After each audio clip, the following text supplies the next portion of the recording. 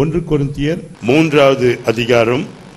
ஒன்றிலிருந்து ஆறு வசனங்களை வாசிக்கும் பொழுது எல்லாரும் கவனமாய் கேட்கும்படி உங்களை அன்பாய் கேட்டுக்கொள்கிறோம். மேலும் சகோதரரே நான் உங்களை ஆவிக்குரியவர்கள் என்று எண்ணி உங்களுடனே பேசக்கூடாமல் மாம்சத்துக்குரியவர்கள் என்றும் கிறிஸ்துவுக்குள் குழந்தைகள் என்றும் எண்ணி பேச வேண்டியதாயிற்று.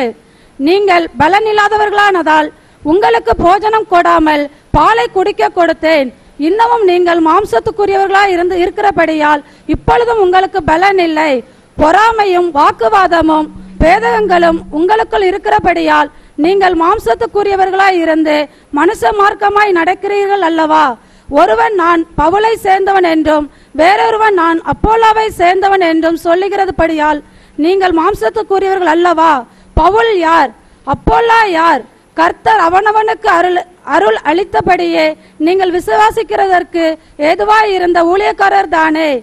நான் நட்டேன். அப்போலா நீர் பாய்ச்சினான். தேவனே விளைய செய்தார். ஹalleluya. ஸ்தோத்திரம். ஆண்டவருக்கு ஸ்தோத்திரம். கர்த்தர் நல்லவர். அவருடைய கிருபை என்றும் உள்ளது. இது வாசித்தது எத்தனை பேர் நல்லா கவனிச்சிங்கன்னு தெரியல. இந்த ஒன்று ரெண்டு வசனங்களை திரும்ப வாசிங்க. நல்லா கவனிங்க. மேலும் சகோதரரே. நான் உங்களை ஆவிக்குரியவர்கள் என்று எண்ணி உங்களுடனே பேசக்கூடாமல் மாம்சத்துக்குரியவர்கள் என்றும் கிறிஸ்துவுக்குள் குழந்தைகள் என்றும் எண்ணி பேச வேண்டியதாயிற்று. நீங்கள் பலனில்லாதவர்களானதால் உங்களுக்கு போஜனம் கொடாமல் பாலை குடிக்க கொடுத்தேன். இன்னமும் நீங்கள் மாம்சத்திற்குரியவர்களாய் இருக்கிறபடியால் இப்பொழுதும் உங்களுக்கு பலன் இல்லை பலன் இல்லை அப்படின்னு சொல்றாரு. அதாவது சகோதரரே உங்களை ஆவிக்கிறீர்கள் என்று எண்ணி உங்களோடு கூட என்னால் பேச முடியல. மாம்சத்துக்குரியவர்களாய் என்றும் கிறிஸ்துவுக்குள் குழந்தைகளாக என்றும் எண்ணி பேச வேண்டியதாயிற்று. குழந்தைங்களா இருக்கிறீங்க வளரவே இல்லை. அப்படின்னு சொல்றாரு. நீங்க வளரவே இல்லை. குழந்தைங்களாவே இருக்கிறீங்க. கிறிஸ்துவுக்குள் குழந்தைகளாவே இருக்கிறீங்க. அப்படின்னு அப்போஸ் நாகிய பவுல் நீங்கள் வளராமல் இருக்கிறீங்களே அப்படின்னு சொல்கிறாரு இப்போ ஒரு குழந்தை எடுத்துக்கோங்க. சின்ன குழந்தை. பாட்டிலில் பால் வச்சு அது என்ன ஒரு ஒன்றரை வயசு ரெண்டு வயசு வச்சுக்கோங்க ஒன்றரை வயசு ஒரு வயசு. குழந்தை பால் வச்சு குடிக்குது நடந்துக்கிட்டே இருக்குது. பால் வச்சுட்டு பாட்டிலில் நடந்துக்கிட்டு குடிச்சிக்கிட்டே இருக்குது. நம்மளாம் அதை பார்த்து என்ன பண்ணுறோம் என்ன பண்ணுறோம் ரசிக்கிறோம். அதை பார்த்து என்ன பண்ணுறோம் ரசிக்கிறோம். எவ்வளோ அழகாக இந்த குழந்தை இந்த பாட்டில் பிடிச்சிக்கிட்டு அருமையாக அருமையாக குடிக்குது. அப்படின்னு ரசிக்கிறோம். இதே குழந்தைக்கு பத்து வயசு ஆயிடுச்சு பத்து வயசு ஆன பிறகும் அந்த குழந்தை அதே மாதிரி பாட்டில் வச்சு அப்படியே குடிச்சிக்கிட்டு நடந்துட்டு வந்ததுன்னா இப்போ என்ன பண்ணுவான்? சொல்லுங்கள் நீங்கள் சொல்லுங்கள் கோவப்படுவீங்களா? என்ன படுவீங்க? துக்கப்படும் வேதனைப்படுவோம். என்ன பண்ணுவோம்? வேதனைப்படுவோம். ஐயோ இவ்வளோ வளர்ந்து இவ்வளோ பத்து வயசானவங்களும் இந்த குழந்தை என்ன பண்ணல? வளரவில்லையேன்னு வேதனைப்படுவோம். பெட் வேதனைப்படுறது குழந்தையா? யார் வேதனைப்படுவா? நம்மனா யாரு? பெற்றோர் வேதனைப்படுவோம். அதே மாதிரி தான் ஆ, நம்ம பத்து வயசானாலும் வளராம பாட்டில் வச்சு சுத்திட்டு இருக்கிறோம். ஆவிக்குரிய பிரகாரமாக பாட்டில் வச்சு சுத்திட்டு இருக்கும் பொழுது வருத்தப்படுறது நம்ம இல்லை. யார் வருத்தப்படுறது? அப்பா. யார் வருத்தப்படுறது? அப்பா. வளரலையே. என் பிள்ளை வளரலையே. என் மகன் வளரலையே என் மக வளரலையே. எத்தனையோ வருஷம் சபைக்கு போயிட்டு இருக்கிறாங்க எத்தனையோ வருஷம் வார்த்தையை கேட்டுக்கிட்டு இருக்கிறாங்க ஆனால் இன்னும் வளரலையே அப்படின்னு சொல்லி ஆண்டவர் நம்மை குறித்து வருத்தப்படுவார். நம்ம வளரணும். இந்த வசனத்தில் நீங்கள் இன்னும் வளரல. பாலே குடிக்கிற நிலமையில் இருக்கிறீங்க. ஆக்சுவலாக நீங்கள் வந்து ஆவிக்குரியவர்களாக இருக்கணும். ஆனால் நீங்கள் அப்படி இல்லையே அப்படின்னு சொல்லி வருத்தத்தோட இந்த அப்போஸ்தலன் இந்த சபைக்கு சொல்லுகிறதை நாம் பார்க்கிறோம். அந்த சபைக்கு மாத்திரமல்ல இன்றைக்கு நம்ம சபைக்கும் இந்த வசனத்தை கேட்டுக்கொண்டிருக்க எல்லாருக்கும் கர்த்தர் சொல்கிறார் நீங்கள் என்ன பண்ணல? வளரலை. வளரலைன்னு குறை சொல்லல. வளரணும்ன்றாரு. என்ன சொல்கிறாரு வளரணும். நீங்கள் என்ன பண்ணணும்? வளரணும்.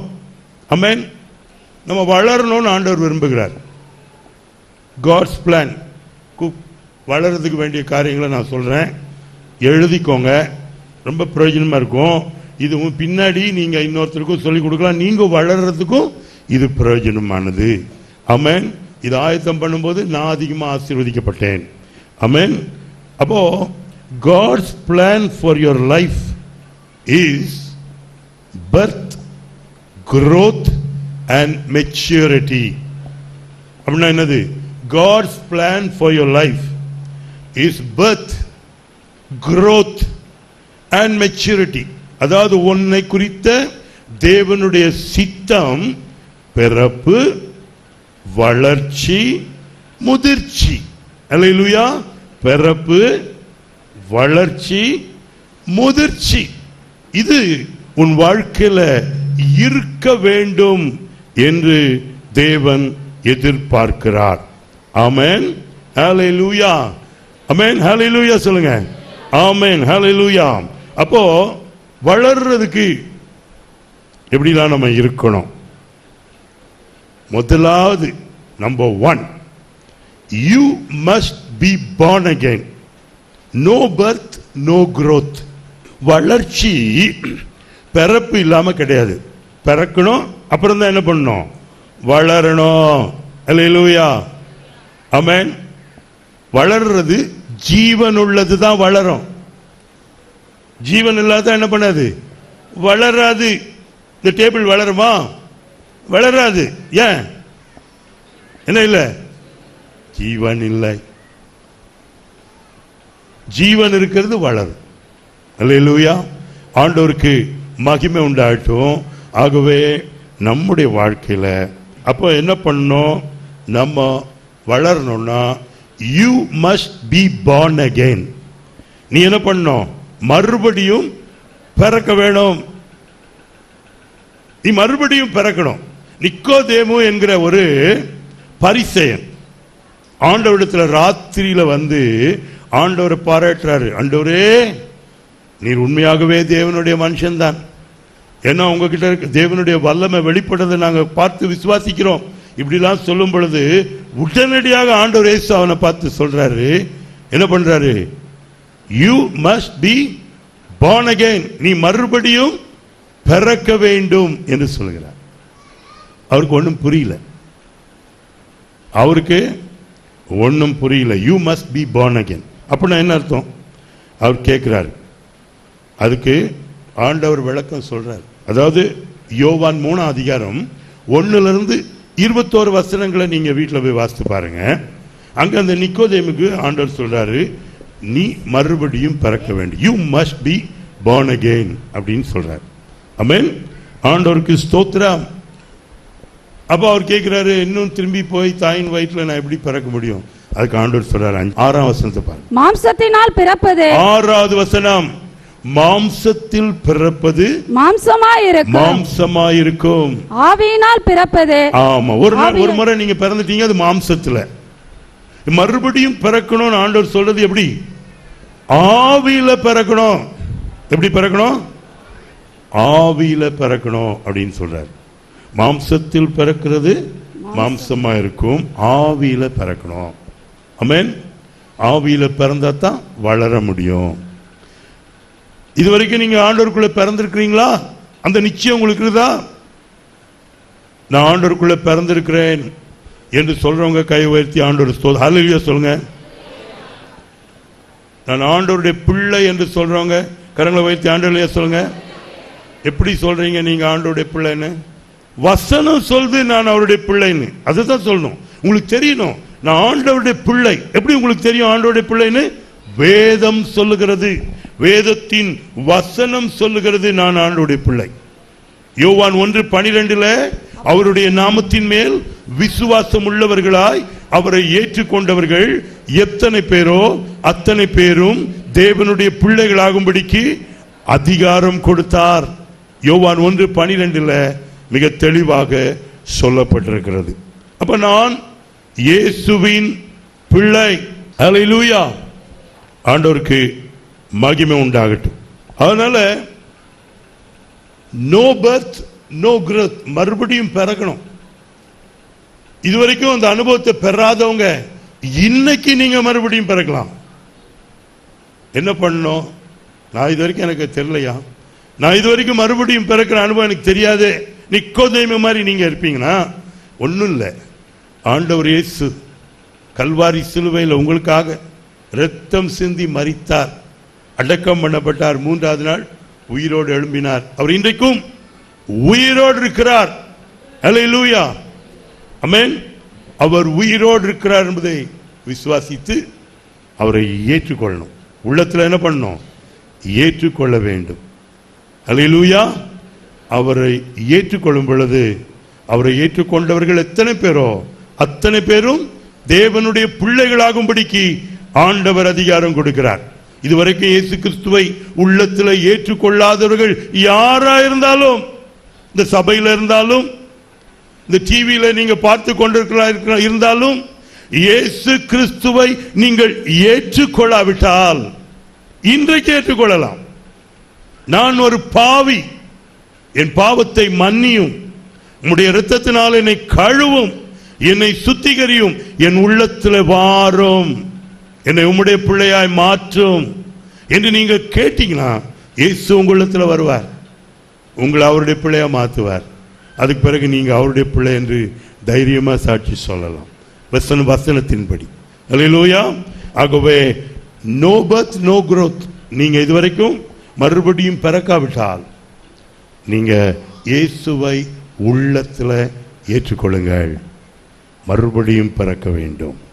அமேன் சிலர் ரட்சிக்கப்பட்ட நிலைமையிலே இருக்கிறாங்க. அது பத்தாது வளரணும் நீ அதில். அடுத்தது ஞானஸ்தானம் இருக்கிறது. ஞானஸ்தானம் கத்துடைய வார்த்தைக்கு கீழ்ப்படிந்து ஞானஸ்தானம் தேவனுடைய கட்டளை. நீ சும்மா ஆராதனைக்கு வந்துட்டு போறதுல ஒரு அர்த்தம் கிடையாது. கத்துடைய வார்த்தைக்கு கீழ்ப்படியணும். ஞானஸ்தானம் பெறணும். ஏன்னா வார்த்தைக்கு கீழ்ப்படியாம வந்து என்ன பிரயோஜனம்? ஞானஸ்தானம் பெற்றுக்கொள்ளுங்கள். ஞானஸ்தானம் பெறாம நீங்க சபைக்கு வந்து கொண்டிருப்பீர்களானால் நீங்க ஞானஸ்தானம் பெற்றுக்கொள்ளுங்கள். ஒருவேளை நீங்க டிவியில பார்த்து வசனத்தை கேட்டுக்கொண்டே இருப்பீர்களானால் நீங்க அடுத்து உங்க வீட்டு பக்கத்தில் இருக்கிற சபைக்கு போய் ஆண்டோடைய வார்த்தைக்கு அர்ப்பணித்து ஞானஸ்தானம் பெற்றுக்கொள்ளுங்கள். ஹalleluya ஆண்டவருக்கு மகிமை உண்டாவதாக. மறுபடியும் பிறக்க வேண்டும். விசுவாசம் உள்ளவனாகி ஞானஸ்தானம் பெற்றவன் ரட்சிக்கப்படுவான் என்று வேதம் சொல்லுகிறது. ஆகவே நீ ஞானஸ்தானம் பெற வேண்டும். அது தேவனுடைய கட்டளை அது தேவனுடைய ஆலோசனை. ஆண்டவராகி இயேசு கிறிஸ்து நமக்கு மாதிரியா இருக்கிறார். ஆகவே நீ ஞானஸ்தானம் பெற வேண்டும். ஞானஸ்தானம் பெற்றுக்கொள்ளுங்க அமேன் ஹalleluya. ஆகவே வளருவதற்கு முதல்ல பிறக்கணும். No birth no growth no birth no growth பிறப்பு பிறக்கலைன்னா வளர முடியாது. பிறந்தா வளரலாம்.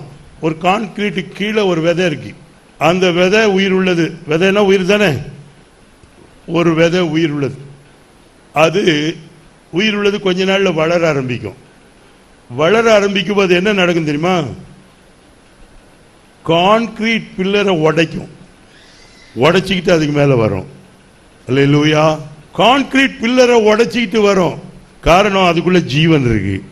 அதுக்குள்ள ஜீவன் இருக்கிறதுனால அது கான்கிரீட் பில்லரை உடைச்சிக்கிட்டு மேலே வரும். ஆமென் கான்கிரீட் பில்லருக்கு என்ன இல்லை? அதுக்குள்ள பலன் இருக்குது ஆனால் ஜீவன் இல்லை. அதை உடைச்சிக்கிட்டு மேலே வரும். அமேன் அல்லேலூயா உனக்குள்ள ஜீவன் இருந்தா எந்த தடைகளையும் உடைச்சி நீ கத்திற்காக எழும்பி வருவ. லூயா தடைகளை நீ பார்க்க மாட்டே. தடைகள் நம்முடைய வாழ்க்கையில வரலாம். இவைகளை பார்த்து நீ சோர்ந்து விடக்கூடாது. உனக்குள்ள ஜீவன் இருக்கிறது. அந்த ஜீவன் உன்னை வளர செய்யும். உனக்கு மாத்திரம் ஒரு வாஞ்ச இருக்கணும். வளரணும். அல்லேலூயா நான் வளரணும். God's plan for your life is growth birth growth and maturity பிறப்பு வளர்ச்சி முதிர்ச்சி. அமேன் ஹலோயா ஆகவே முதலாவது you must be born again நீ மறுபடியும் பிறக்க வேண்டும். ரெண்டாவது நிறைய இருக்கு. எல்லாத்தையும் சொல்ல முடியாது. ஒன்று சிலது சொல்றேன். இது உங்க வாழ்க்கைக்கு ரொம்ப பிரயோஜனமா இருக்கும். மாற்றம். வாழ்க்கையை மாற்றம். Amen number two you must learn how to feed yourself you must learn how to feed yourself feed feed ஃபீட்னா என்னது? You must learn how to feed yourself பிள்ளை சாப்பிடுது. குழந்தையா இருக்கும்போது நம்ம தான் என்ன பண்ணுறோம் ஊற்றுறோம் ஆனால் கொஞ்ச நாள் ஆன பிறகு அதுவே என்ன பண்ணுது? சாப்பிட ஆரம்பிக்குது. உலக பிரகாரமாக அது இருக்கும்போது ஆவிக்குரிய நிலைமையில அப்படிதான் இருக்கணும். எப்போதும் வேற ஒருத்தர் ஊட்டி கொண்டிருக்கிற நிலைமை இல்லாமல் நீங்களே சாப்பிட ஆரம்பிக்கணும். என்ன சாப்பிடணும்? ஆண்டவருடைய வார்த்தையை சாப்பிடணும். மனுஷன் அப்பத்தினாலே மாத்திரமல்ல தேவனுடைய வாயிலிருந்து புறப்படுகிற ஒவ்வொரு வார்த்தையினாலும் பிழைப்பான். You must learn how to feed yourself எப்படி நீங்களே ஆகாரம் உட்கொள்ளணும் என்பதை அறிந்து கொள்ள வேண்டும். அமேன் ஒன்று பேதுரு இரண்டாம் அதிகாரம் மூன்றாவது வசனம். ஒன்று பேதுரு இரண்டாம் அதிகாரம் மூன்றாவது வசனம். நீங்கள் வளரும்படி புதிதாய் பிறந்த குழந்தையைப் போல திருவசனமாகிய களங்கமில்லாத ஞானப்பாலின் மேல் வாஞ்சையாயிருங்கள் ஆமா. நீங்கள் வளரும்படி புதிதாய் பிறந்த குழந்தைகளைப் போல திருவசனமாகிய கழகமில்லாத ஞானப்பாலின் மேல் வாஞ்சியா இருங்க அமேன் அல்லேலூயா. வளரணும்னா பாலின் மேல் வாஞ்சியா இருக்கணும். குழந்தைக்கு என்னதான் கொடுக்கும்? என்னதான் கொடுப்பாங்க? பால். வேத வசனம் களங்கமில்லாத ஞான பால் அல்லேலூயா. ஆகவே நீங்கள் வளரும்படிக்கு புதிதாய் பிறந்த குழந்தையை போல என்னது? களங்கமில்லாத ஞான பாலின் மேல் எப்படி இருக்கணுமா? வாஞ்சியாய் உட்கொள்ளணும். பால்ன உடனே குழந்தை என்ன பண்ணணும்? குடிக்கணும். அப்படியே குடிக்குது குழந்தை. என்ன பண்ணுது? பால் என்ன பண்ணுது? தட்டி தட்டி விடுது. அப்படி இருக்கக்கூடாது. களங்கமில்லாத ஞானப்பாலின் மேல் வாஞ்சையா இருக்கணும். வேத வசனம் களங்கமில்லாத ஞானப்பால். வாஞ்சையா இருக்கணும். வாஞ்சையா படிக்கணும். ஒவ்வொரு நாளும் தேவ சமூகத்தில் உட்கார்ந்து வாஞ்சியா படிக்கணும். போவாசு ரூத்துக்கு சொல்றாரு மா நீ பொறுக்கி கொள்ள வேற வயலுக்கு போகாதே. இங்கேயே இந்த வயல்லே பொறுக்கிக்கோ. எந்த வயலு? தேவனுடைய வார்த்தை வேத புஸ்தகம். அல்லேலூயா வேத புஸ்தகம் ஆகிய வயலில் உனக்கு வேண்டிய தானியத்தை என்ன பண்ணிக்கோ? பொறுக்கி சாப்பிடு. அமேன் ஒவ்வொரு நாளும் நீ சாப்பிடு. நீ you must learn how to feed yourself நீயே ஆகாரம் உட்கொள்ள தேவனுடைய வசனத்தை படித்து புரிந்து கொள்ள விளங்கி கொள்ள என்ன பண்ணும் நீ ஆரம்பிக்கணும். ஒன்னாம் சங்கீதத்தில் கர்த்தருடைய வேதத்தில் பிரியமாயிருந்து இரவும் பகலும் அவருடைய வேதத்தில் தியானமாய் இருக்கிற மனுஷன் பாக்கியவான். கர்த்தருடைய வேதத்தில் பிரியமா இருந்து இரவும் பகலும் அவருடைய வேதத்தில் என்ன பண்ணுமா? தியானமா இருக்கணும். அமேன் அப்போ திருவசனமாகிய களங்கமில்லாத ஞானப்பாலின் மேல் என்னவா எப்படி இருக்கணுமா? வாஞ்சியா இருந்து படிக்கணும். இன்னைக்கு நிறைய பேருக்கு பைபிள் திறந்த உடனே ஆ. அப்படிதானே? ஆ? பைபிள் திறந்த உடனே ஆன்னு வருது. என்ன வருது? கொட்டாய். கொஞ்ச நேரத்தில் ஆ அதுக்கப்புறம் கொஞ்ச நேரத்தில் அப்படியே போயிடுது. என்னது? ஏன்? வாஞ்ச கிடையாது. என்னது? வாஞ்ச கிடையாது. கழகம் இல்லாத ஞான பாலின் மேல் வாஞ்ச இல்லை. ஆகவே வாஞ்ச இல்லாதனால பைபிள் திறந்த உடனே தூக்க. வேற கதை புஸ்தகம் வாசித்தா? வேற கதை புஸ்தகத்துக்கெல்லாம் அப்படிலாம் ஆ வராது. தூக்கம் வராது. வேற கதை புஸ்தகம்லாம் அப்படியே கடைசி வரைக்கும் வாசி ஏன் அதில் ஒரு இன்ட்ரெஸ்ட் தேவனுடைய வார்த்தையில் அப்படி ஒரு இன்ட்ரெஸ்ட் இல்லை. ஒரு வாஞ்சை இல்லை. அதனால என்ன பண்ண முடியல? அதில் நீ படிக்க முடியல. நீ வசனத்தை படித்து தேவ சமூகத்தில் காத்திருந்து ஜெபிச்சா தான் நீ என்ன பண்ண முடியும்? வளர முடியும். நீ வளரணும்னா வசனத்தை படிக்கணும். தேவனுடைய சமூகத்தில் ஜெபிக்கணும். அமேன் அமேன் அல்லேலூயா அடுத்தது you must learn to allow servants of God to feed you. You must learn to allow the servants of God to feed you. நீயே ஆகாரம் உட்கொள்ளணும் தேவ ஊழியர்கள் உனக்கு கற்றுக் கொடுக்கும் பொழுது அதை கேட்க நீ என்ன பண்ணணும் முற்படணும் இன்னைக்கு நிறைய பேருக்கு எல்லாம் தெரியும் இந்த ப்ளஸ் டூ அப்பா நாங்கள் படிக்கும்போது எஸ்எல்சி லெவன்த் ஸ்டாண்டர்ட் வரைக்கும் தான் இந்த ஒன்பதாம் கிளாஸ் வந்த உடனே நாங்களாம் ஸ்கூலில் பெரிய ஆள். எங்கள் எங்கள் ஸ்கூலில் பதினோரு கிளாஸ் தானே? இப்போலாம் நீங்கள் உங்களுக்கு பன்னெண்டு. எங்கள் நான் படிக்கும்போது எங்களுக்கு பதினோரு கிளாஸ் தான். லெவன்த் ஸ்டாண்டர்ட் தான். அப்போ ஒன்பதாம் கிளாஸ் வரும்போதே ஸ்கூலில் நாங்கள்லாம் பெரிய ஆள். டென்த்து லெவன்த்து வந்து போயிடுவாங்க. டென்த்து நைன்த்து தான். ஆகவே அதுவே எங்களுக்கு ரெண்டு கொம்பு முளைச்ச மாதிரி ஆகிடும் நைன்த்து அதுலேருந்து டென்த்துக்கு போனால் இன்னும் பெரிய கொம்பு முளைச்சிரும். எஸ்எஸ்எல்சி வந்துட்டோம்னா அவ்வளோதான் ஒன்றுமே கேட்க வேண்டியதே இல்லை. நாங்கள் தான் கிங்கு அப்படி தான் நாங்கள் வாழ்ந்தோம். இன்றைக்கும் அப்படி தான் இருக்காங்க பசங்க. இல்லையா? அப்படி தான் இருக்கு. எங்களுக்கு எல்லாம் தெரியும். எங்களுக்கு தெரியாதே ஒன்றும் இல்லை. ப்ளஸ் டூ முடிச்ச உடனே எங்களுக்கு எல்லாம் தெரியும். இல்லை காலேஜ் முடிச்ச உடனே எங்களுக்கு எல்லாம் தெரியும். அப்படின்னு நினச்சிக்கிறாங்க. நான் ஒன்று மாத்திரம் தெரிஞ்சுக்கோங்க. You must be a learner till the end of your life உன்னுடைய வாழ்க்கையின் முடிவு வரைக்கும் நீ படித்து கொண்டே இருக்கணும். சிலருக்கெல்லாம் பயம் வந்துடுது அப்பாடா இப்போ தான் ஸ்கூல் முடிஞ்சது ப்ளஸ் டூ முடிஞ்சது பரீட்சை முடிஞ்சது புக்கெல்லாம் தூக்கி போட்டு இருக்கலான்னு பார்த்தா இவர் வாழ்க்கை முடிகிற வரைக்கும் படிக்கணும்னு சொல்கிறாரு புக்கு படிப்பு சொல்லலை நான். புக்கு படிப்பு இல்லை வாழ்க்கை படிப்பு. இல்லையா புக்கு படிப்பு வாங்கி சர்டிஃபிகேட் வாங்கிக்கலாம். வாழ்க்கை படிப்பு நிறைய படிச்சுக்கிட்டே இருக்கணும். அலையிலூயா ஒரு நல்ல காரியம் ஒருத்தர்கிட்ட பார்த்தீங்கன்னா அதை படிச்சுக்கணும். ஆனால் இன்னைக்கு அப்படி இல்லையே. நீ படிக்கிறதெல்லாம் ஒருக்கிட்ட ஒருத்தர்கிட்ட பார்த்த கெட்ட காரியத்தை தான் படிச்சுக்கிற. ஒருத்தர்கிட்ட பார்த்த கெட்ட காரியத்தை உடனே படிச்சுக்கிற. நல்ல காரியத்தை படிச்சிக்கவே மாட்டேன்ற. அப்படி இருக்கக்கூடாது. நல்ல காரியத்தை படித்து வாழ்க்கையில் நல்லா வரணும். நம்முடைய வாழ்க்கை தேவன் நமக்கு கொடுத்த வாழ்நாட்கள் நமக்கும் நம்முடைய குடும்பத்துக்கும் நம்முடைய சபைக்கும் நம்முடைய தேசத்துக்கும் ஆசீர்வாதமாக இருக்கணும். கர்த்தர் உன்னை எவ்வளவு தூரம் உயர்த்துறாரோ அவ்வளவு தூரம் நீ போனோம் அல்லேலூயா தேசத்துல உன்னை ஒரு தலைவனாக கர்த்தர் கொண்டு வந்தா எழும்பி ஆசீர்வாதமாக திகழ வேண்டும். அதுக்கெல்லாம் வளர்ந்துக்கிட்டே இருக்கணும். அதுக்கெல்லாம் என்ன பண்ணணும்? வளர்ந்துக்கணும் வளர்க்கணும்.